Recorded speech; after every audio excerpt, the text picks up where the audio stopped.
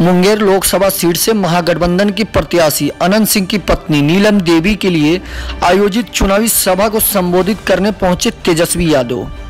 आज बाल बाल बच गए मुंगेर में आयोजित चुनावी सभा के दौरान मंच टूट गया। इस दौरान तेजस्वी यादव समेत कई बड़े नेता मंच से नीचे गिर गए लेकिन राहत की बात यह रही कि किसी को गंभीर चोट नहीं लगी। मंच के टूटने के बाद अफरा तफरी का माहौल कायम हो गया। सभा में आए लोग इधर उधर भागने लगे। जानकारी के मुताबिक जिस मंच से तेजस्वी यादव भाषण देने वाले थे, उस मंच पर महिला और पुरुष मिलाकर करीब 50 से अधिक लोग चढ़ गए थे। मंच पर ज़रूरत से ज़्यादा लोगों के चढ़ जाने के कारण ही मंच टूट गया। देखिए रिपोर्ट।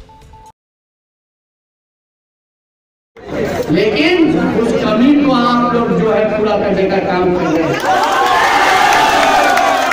जब लालू जी को जेल भेजा जा रहा था तो हम उनके साथ थे हम निराश थे दुखी थे लेकिन लालू जी ने कहा, बेटा, निराश मत होना।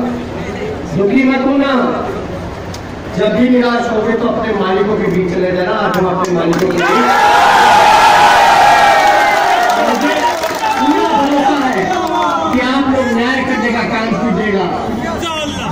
सभी खबरों पर अपडेट रहने के लिए हमारे चैनल को सब्सक्राइब करें और बेल आइकन को दबाना ना भूलें।